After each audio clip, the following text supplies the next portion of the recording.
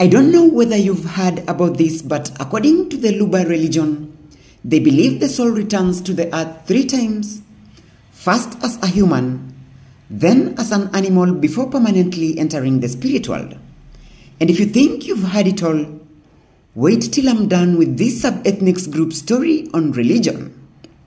So, once upon a time, there was an ancient and powerful kingdom known as the Luba Kingdom born in the Lush Upemba Depression. Now, this was before the Belgian colonization fragmented it, but the spirit of the Baluba people lives on.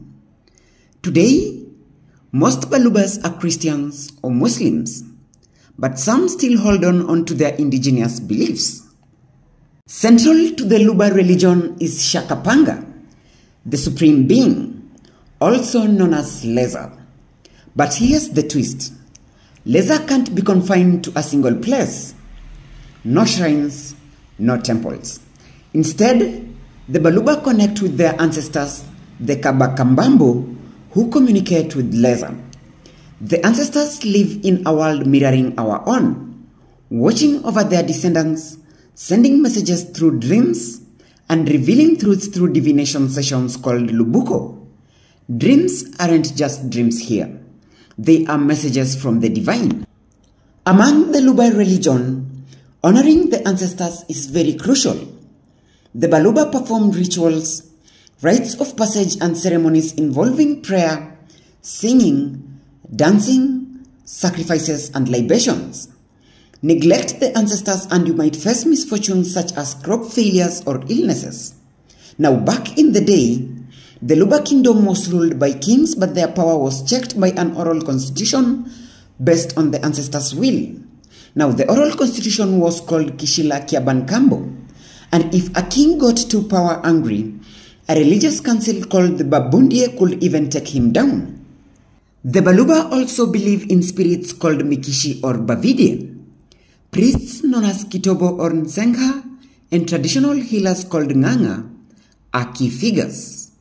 The Nganga perform Lubuko, offering prophetic insights while witches known as Mfitsi represent pure evil, opposing the ancestors' will. What to note is that each person has a life shadow or soul known as Moja interconnected with their body Umbidi. Harming one affects the other. When someone dies, their bodily matter must return to their village to be buried in ancestral grounds. Now, what then could be the ultimate goal in the Luba religion? Achieving Bumuntu, becoming your true self with a good heart and dignity, of course. Without Bumuntu, one can't truly follow the Luba religion. In 1945, a Belgian missionary named Placide Tempels introduced the world to the Luba religion with his book, La Philosophie Bantu. This helped shape contemporary African philosophy. Isn't the Luba religion just mind blowing? Of course, to know more about the religion, you can visit our website at africarebirth.com where aside from this story, you'll find many other interesting stories about the history and culture of Africa. My name is Nokla Murunga, and this is Africa Rebirth. Thank you for your time. Have a lovely day ahead.